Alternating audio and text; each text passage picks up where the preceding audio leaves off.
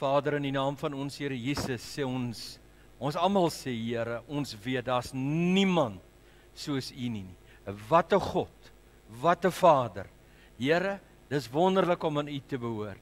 U wat altyd vol van genade en vol goedheid is.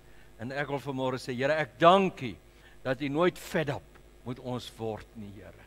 Dankie vir die Here Jesus. Dankie vir U Heilige Gees. Dankie Here dat U vir ons bedien met U self. So ek bid nou in die naam van ons Here Jesus, laat U naam geheilig word, laat U koninkryk kom en laat U wil geskied in die volgende halfuur, sommer hier in ons harte op so 'n manier, Here, dat dit môre kan gesien word. En die kinders van die Here sê: Amen. Baie baie dankie. Baie dankie ouens. Goeiemôre vir julle. Baie baie welkom. Ek wil net vir al die nuwe ouens sê sorry man, ek kon nie by daai kant kom nie. En daar's 'n paar ouens daar wat ek graag wou mooi hallo gesê het, maar toe toe mis ek nou vir hulle.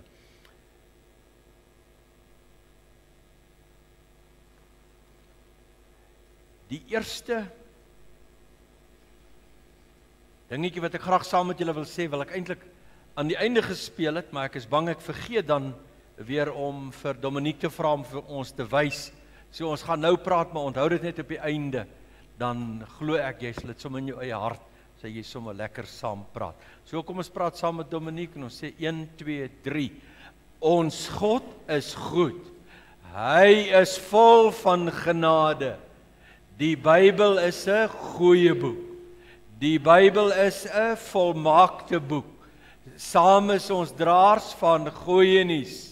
Hierdie goeie nuus handel oor die Here Jesus Christus, ons Here. Ek gaan net vir julle lees uh uit die Bybel uit. Ek gaan nou eers net aangaan.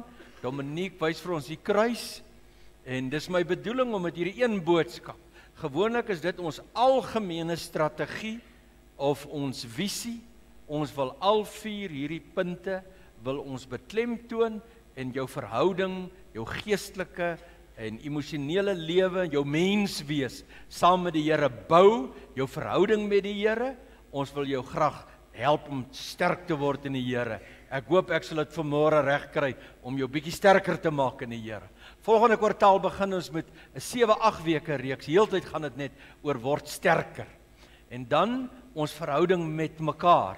Dit gaan baie sterk uitkom later in die boodskap dat die Here het 'n spesifieke doel met elkeen van ons wat hy vir ons wil vra oor ons verhoudings met mekaar. En dan dink ek in disippelskap en ons eie groei en dan natuurlik altyd is die Here uh, ons God is 'n wêreldgod. Hy wil eintlik uitreik na alle mense toe. In die Here Jesus Christus ons Here, hy's altyd sentraal en ek wil ook graag hê hy moet vanmôre sentraal wees. Ek dink een van die ABC waarhede in Christendom besef ons nie altyd so mooi in in in die kern van ons wese nie. En dit is dat die Here Jesus Christus gekom het om in ons as Christene te woon. En dat hy nou sy lewe hier op aarde wil voortsit deur my en jou. Hy wil deur jou lewe. Hy wil met mense om jou, met Christenmense en met mense wat nie aan die Here behoort nie, wil die Here kontak maak. Hy lewe in jou en hy wil met ander mense praat deur jou. Hy wil na ander mense kyk deur jou. Hy wil na ander mense luister deur jou. Jy sien in hierdie ding dink ek moet ons baie baie meer in ons wesens in vasgryp. Dat ek is altyd hier met 'n spesiale doel man, 'n spesiale idee wat die Here vir my het. Ouens, die wêreldgeskiedenis. As jy net 'n bietjie dink aan die wêreldgeskiedenis, dan's daar altyd momente in die wêreld se geskiedenis Miskien 'n tydperk van 3 jaar. Tweede Wêreldoorlog was 5, 6 jaar. Wat miljoene der miljoene mense se lewens verander word. So was die koms van die Here Jesus van sy openbare bediening en sê net maar eerste 4, 5 jaar daarna het dit die hele wêreld ingrypend verander. Die Here Jesus se lewe hier op aarde En die eerste 4, 5 jaar daarna het die wêreld verander. Dit het lande verander. Dit behoort gemeentes te verander. Dit behoort jou te verander. En ek gaan nou vanmôre met julle praat rondom hierdie tema van oor 'n tydperk van 10 jaar het daar 'n geweldige ingrypende verandering gekom. En Petrus die skrywer sê baie geleerdes van die evangelie van Markus. Verlede week het ons gepraat oor Markus. En ek wou nou vanmôre ook oor hom gepraat het, maar ek dink ek sal nie klaar kry nie, so gaan maar net fokus op Petrus. En dat in die tydperk van Petrus se lewe. Hulle reken Petrus was min of meer 10 jaar jonger as die Here Jesus. So kom ons sê 23, 24 en hy het gelewe. Die Here Jesus het toe opgevaar na die hemel. Hy lewe nog omtrent 4, 5 jaar hier en in daardie tyd, daai 10 jaar, die 3 jaar en sê maar nog 4 jaar het daar 'n geweldige ding gebeur, die geboorte van die Christenkerk, die stigting van die Christenkerk en die vestiging en die uitbreiding daarvan. En hierdie ou is in die middel daarvan. Hy is deel daarvan. En natuurlik het hy 'n span rondom hom gehad. Natuurlik het hy die Here rondom gehad en hy het dit nie alleen gedoen nie. Mense kan gewoonlik geen groot werk in die wêreld doen man alleen nie. Billy Graham, ek het nou twee van sy boeke gelees, was my geweldig inspirerend. Ek het nooit geweet Billy Graham het honderde mense gehad wat saam met hom gewerk het. As hy na 'n dorp toe gekom het soos Bloemfontein en daar 6 maande voor die tyd, 'n 100 mense gegaan, die voorbereidings gedoen, mense opgelei in voorbidding, 'n 100 mense 6 maande voor die tyd. Jy sien so Petrus het ook sulke mense gehad wat saam met hom gewees het en saam met hom gewerk het en al die dinge saam met hom gedoen het. Ek wil nou vir julle iets sê wat ek wil hê julle moet mooi dink want dit is die doel van my boodskap vanmôre vir julle. Daai 10 jaar of 7 jaar wat Petrus in gelewe het. Daai 7 jaar van sy lewe toe hy sê nou maar 23 25 was totdat hy 35 40 was, het hierdie wêreld radikaal verander heeltemal verander. En hy speel 'n rol in die middel van dit. Ek dink ek dink ons lewe aan die vooraan van nog 10 jaar waarin hierdie wêreld rondom ons radikaal gaan verander. En ouens, ek dink ek dink die Here gaan Christene, individue en gemeentes reg oor die wêreld opwek sodat ons as Christene wat aan die kant van die Here staan, die volgende 10 jaar sal oorneem. Ek dink baie van ons, die meeste van ons sien op televisie wat gaan aan, hoe die ouens nou van Sirië af en Libië af en alsoan as dit ware die weste ervaar ons partykeer of party mense die weste invade. Daar duisende moslimmense gaan oor in Duitsland in en in watter lande en ander van hulle gaan weer na ander plekke toe. Nou mense het twee reaksies op hierdie ding. Baie mense sê die moslems gaan nou maar net soontoe sodat hulle hulle self weer daar kan vestig en dan met al hulle probleme begin. Ander mense sê nee. Hierdie is 'n lieflike geleentheid vir Christene om nou baie naby aan hierdie mense te kom in die evangelie vir hulle te gee en vir hulle te wen vir die Here. Dit hang maar eintlik af net hoe 'n ou dit sien en hoe 'n mens dit ervaar. Maar maak nie saak wat gebeur in 'n sekere sin ouens. Maak dit nie regtig saak wat Angela Merkel sê. Dit maak saak wat jy vanmôre vir die Here sê. Dis wat eintlik saak maak in Bloemfontein. Petrus was 'n man wat 'n rol gespeel het in 'n groot verandering. En Petrus het 3 spesiale ontmoetings met die Here gehad. 3 besondere ontmoetings met die Here. En ek wil vir hierdie goed vas lê in jou hart. Ek wil so graag vanmôre hê jy moet 'n woord van die Here verneem jy as individu moet die Here se woord hoor. Ek wil hê ons gemeente moet die stem van die Here hoor. Jy sien want ek wil ook graag hê ons moet as individue Ons moet as kerk, as gemeente, met die volgende 10 jaar in Bloemfontein 'n geweldige invloed uitoefen. Ouens, as 'n mens nie sien dat ons wêreld is besig om gesekulariseer te word nie, you missing. You missing. En of jy nou 'n ou man is of 'n ou tannie is, mense seker nie 'n ou vrou nie, 'n ou tannetjie is. Die ek het 'n woord vir elkeen van julle vanmôre. Ek wil hê julle moet mooi luister. Petrus het 'n rol gespeel, dink ek, omdat hy 3 spesiale ontmoetings met die Here gehad het. 3 baie baie spesiale en ek dink jy moet hierdie 3 spesiale ontmoetings met die Here hê. In die eerste een 'n soort van inleidend en die tweede een dink ek is die regte een en die derde een dink ek moet jy maar elke jaar hê. So ek gaan nou vir jou hê jy moet jou raamwerk vat en ek wil hê julle moet daar omring en ek wil hê julle moet saam met my lees. So tel net 'n bietjie jou raamwerk op.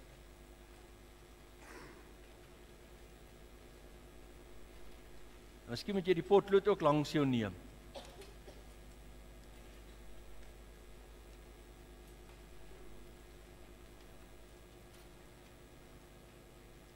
Johannes 1 vers 42. Kom ons lees hardop saam. Julle lees saam met my 1 2 3. Jesus het stip na Simon gekyk en gesê: "Jy is Simon, maar jy sal Sefas genoem word." In hierdie tydperk van Simon se lewe, van Petrus se lewe, was daar op godsdienstige gebied wonderlike dinge wat hier rondom hulle gebeur het. Die van julle wat weet van Angus Bakken en ook van die groot byeenkomste by was, sal min of meer verstaan wat ek nou bedoel. Uh hier de kom ons noem Angus Bakken herlewingsprediker, nê. Nee. In hierdie tyd van Petrus toe hy 'n jong man van so 23, 25 was, was daar ook 'n baie beroemde en 'n baie effektiewe herlewingspreker prediker soos Angus Bakken. Hy het gepreek en mense het in hulle derduisende soontoe gegaan en gaan luister en die Here het opnuut te werk in mense se harte gedoen. En ek wonder of Petrus nie ook by so 'n geleentheid deur Johannes gedoop is nie. Ek dink daar was 'n groot werk ook in sy hart aan die gang in hierdie tyd toe hy so 23 24 was. Maar dit was nog voor hy die Here Jesus Christus ontmoet het. Dit was voor dit en hy het gehoor hoe Johannes die Doper die hele tyd sê, maar die eintlike man, hy kom. Die eintlike man is nog op pad. En ek dink dit het nog hulle harte verder geroer om te weet maar die Messias kom en dit waarvoor hulle nog altyd uitgesien het en na 'n verwagting en 'n smagting gehad het, hy was op pad. En toe gebeur daar iets in sy lewe. En ek wil so graag hê dit moet in jou lewe gebeur vanmôre. Ouens en is hierdie eerste ontmoeting wat hy met die Here Jesus gehad het by ons kan gebeur. En die tweede een en die derde een. Kan ons eintlik ook amper iets begin sê soos Neil Armstrong? Een klein stap vir die mensheid. 'n Een klein stap vir 'n mens, né? Nee? Maar een groot one giant leap for mankind.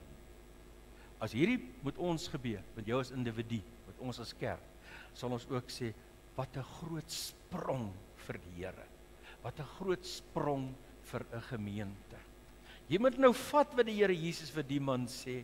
Die Here Jesus praat met hierdie man en terwyl hulle ek dink wat dit min of meer kan dit dit kan dalk wees soos ek nou sê.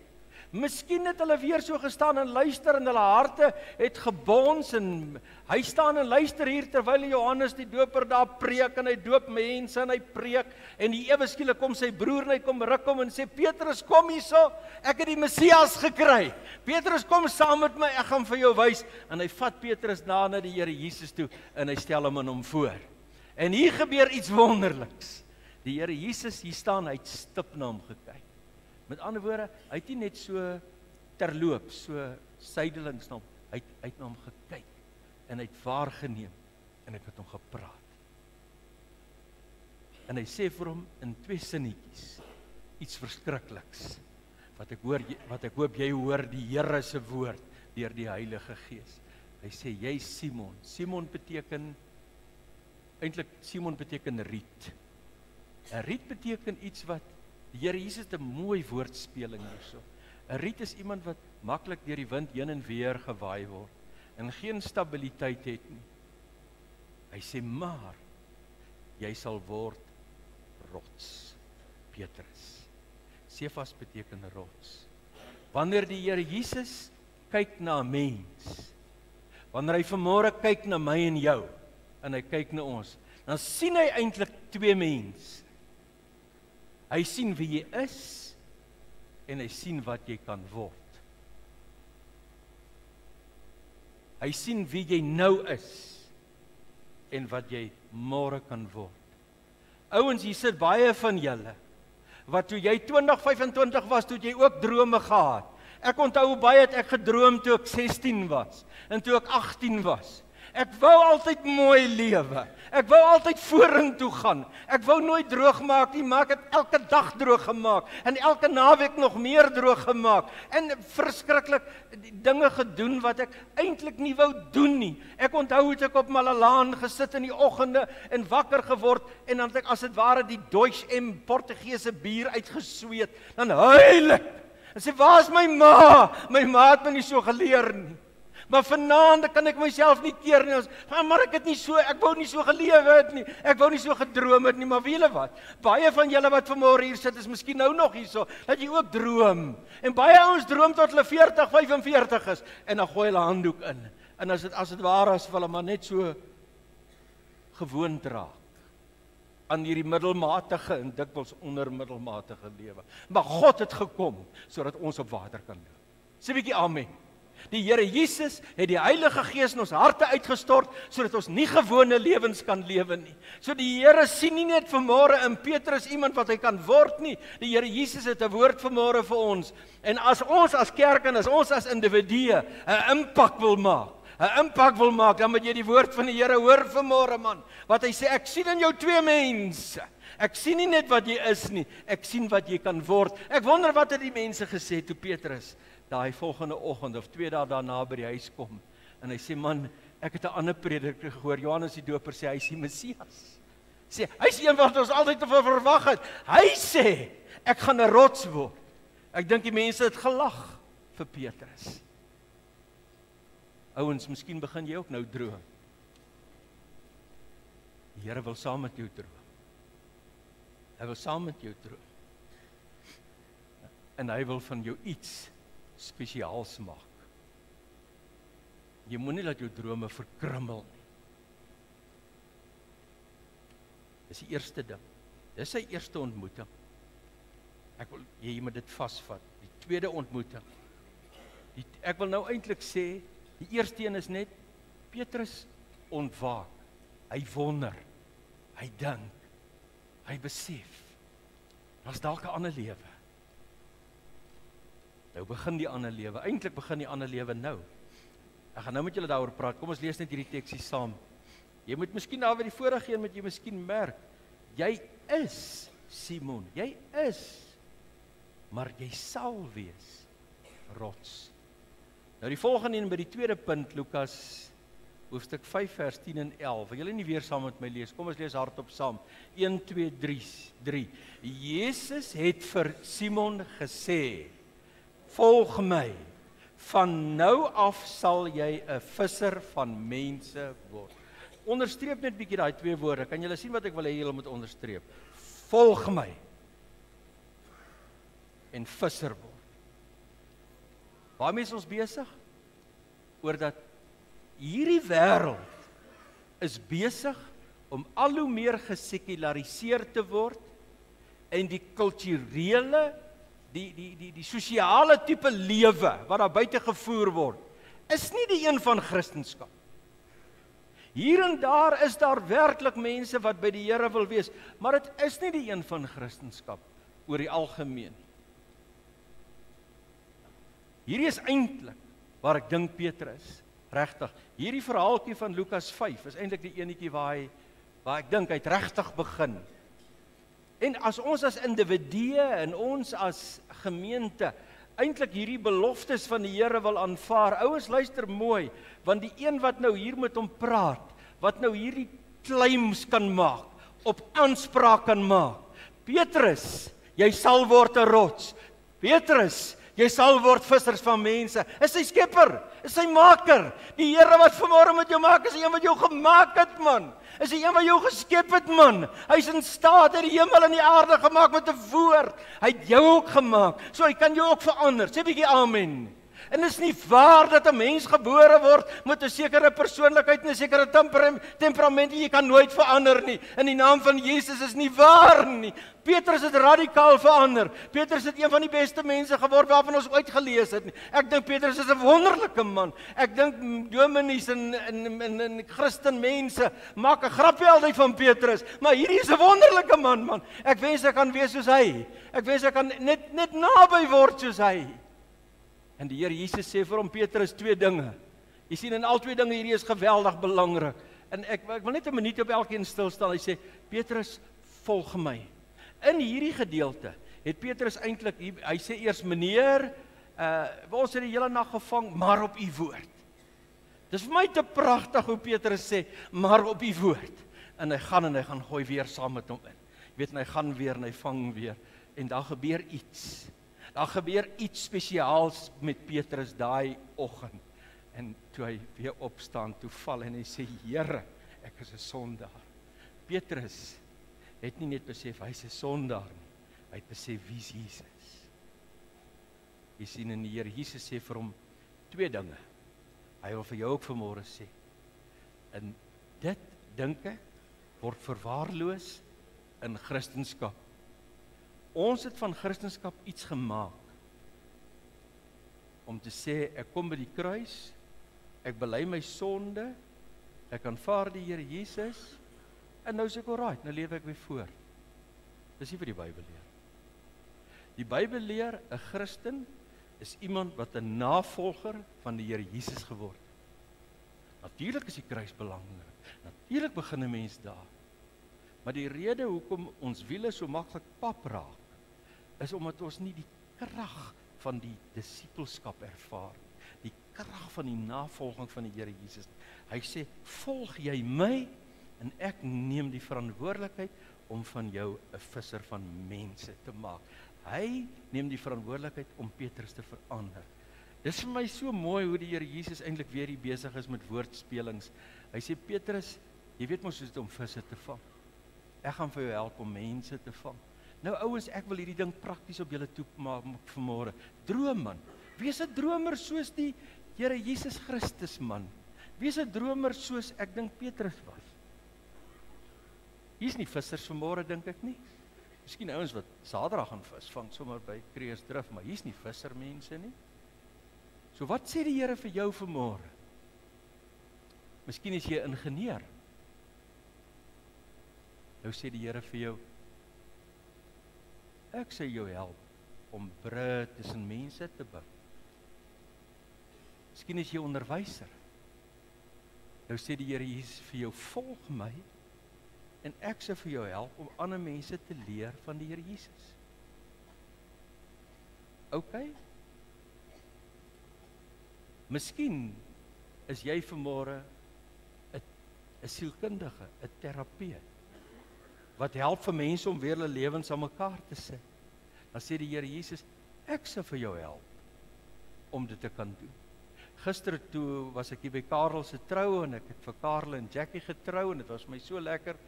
En net voor die troue begin toe kom daar 'n man by my en hy groet my. En ek weet toe hy's 'n tennisafrigter. En ek dink toe wat sal hy vir my sê as ek vir hom sê jong die Here het 'n groot droom ook vir afrigters en dit is om van hulle afrigters te maak van mense. Miskien is jy in die mediese wêreld. En jy maak mense gesond en genees mense. Dalk wil die Here vir jou vanmôre sê hy wil jou help om ander mense te genees. Miskien is jy 'n landbouer. Die Here sê hy wil hê jy moet ook saai man, saai in ander mense se lewens in en help om die grond te ontwikkel. In 2 Timoteus 2 staan dit baie mooi so van hoe dat die Here van mense landbouers maak. So wat is jy vanmôre? Die Here Jesus wil van jou iets maak. Ek gesit gisteraan so en dink aan Bloemsek en ek dink aan die sekuriteitsouens en ek dink hoe hulle nou baie keer daar by ons huis kom en is net ek en Linda en Die huis is groot en daar's niemand ander mense nie. En baie keer is jy bang. Dan kom Bloem sê, dan bring hulle rustigheid. Dan vat die vrees weg. Miskien is jy 'n sekuriteitsman. Die Here wil hê jy moet uh, vrede en vrees vrees wegneem en vrede bring in mense. Wat wil jy insit? By Petrus staan hy's 'n visserman. Wat wil jy insit vir môre?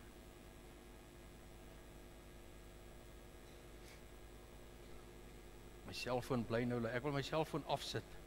Julle moet julle selfone afsit, sal julle? Asseblief man. Ek weet nie hoekom soek die ouens my terwyl ons aan die kerk in nie. Ek wil hom net dooddruk. Daar sê nou dood. Ek weet nie hoekom soek hierdie ou my nie.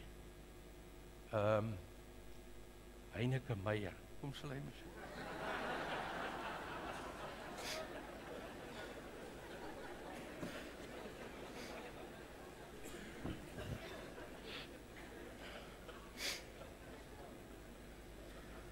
Dis die beste punt wat jy nog in jou lewe in 'n kerk en 'n preek gehoor het. Alraai. Dit was net om julle aandag weer mooi te kry. Ek kom by die laaste een.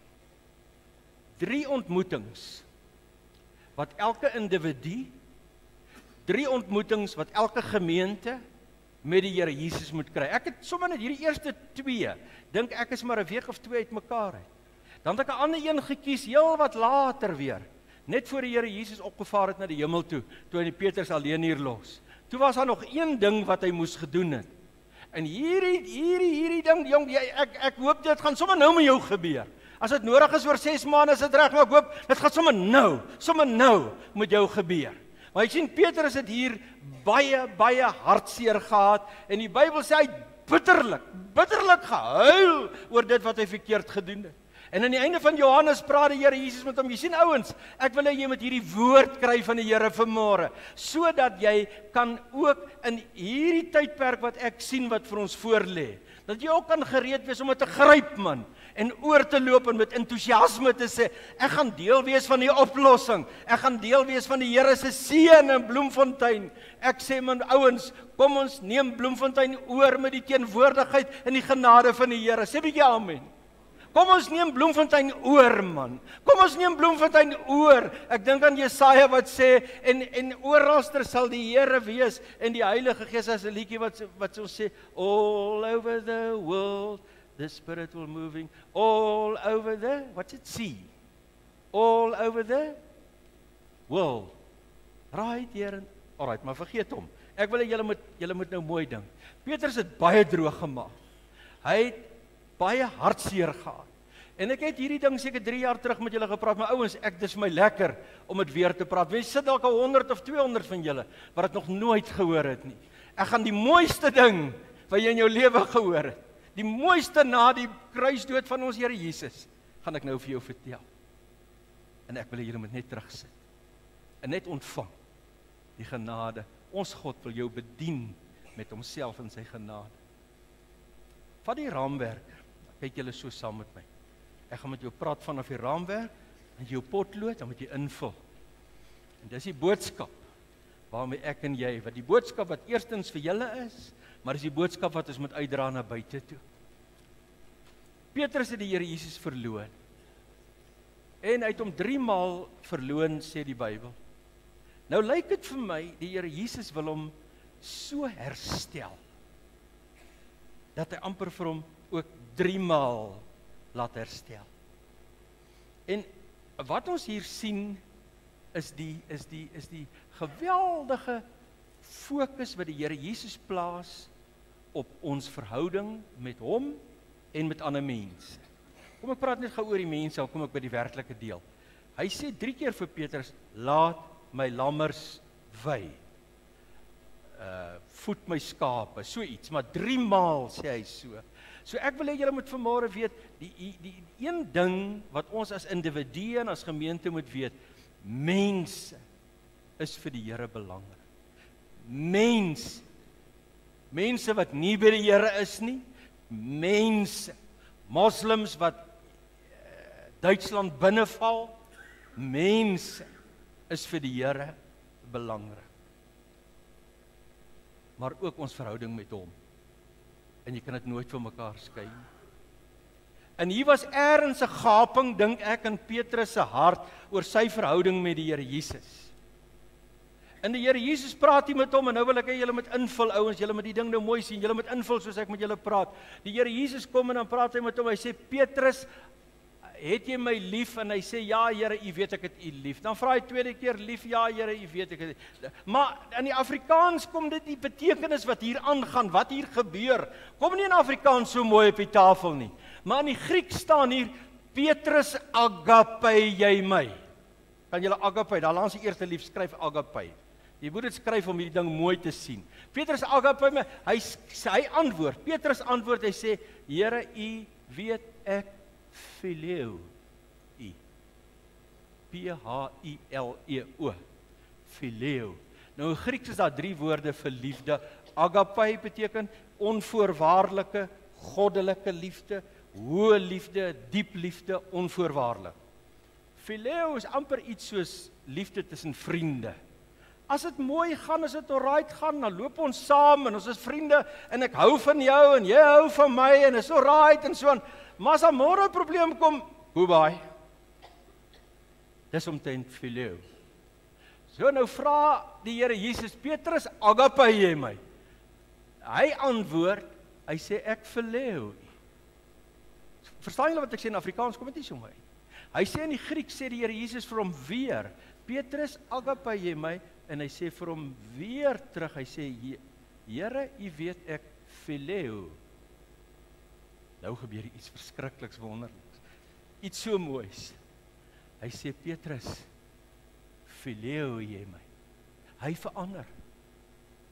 Hy vra nie meer hierdie liefde wat so onvoorwaardelik so geweldig diep is nie.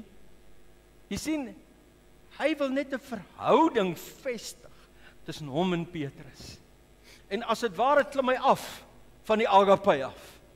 Hoor nou wat ek vir julle sê. Hy verlaag sy standaarde vir Petrus.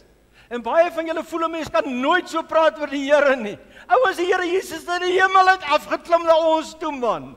Ons voel nie ons moet na hom toe opklim. Hy het na ons toe afgeklim. Dis die dis die kern van die evangelie en die Here Jesus doen dit weer hier prakties en hy sê Petrus, ek kom af en ek kom staan gelyk op die grond met jou. Petrus, Petrus, "Verleu jy my?" Ja, Here. En hy raak hartseer Petrus en en hy huil. Hy sê, "Ja, Here, ek verleu." En ek wil vanmôre vir jou sê in die naam van ons Here Jesus, as jy nie vanmôre alles kan gee nie, nie algehele oorgawe kan gee nie, nie 'n goddelike liefde en die Here Jesus sê, "Kom net soos jy is, man. Kom net soos jy is, nie soos jy behoort te wees eendag nie. Kom net so, volg my. Ek verander jou soos jy stap vir stap saam met my loop." Dis die boodskap van Christendom. Ek weet die ouens preek vir julle. As jy nie algehele oorgawe wil maak nie, moet jy maar net bly. Dis waar nie. Kom jy is.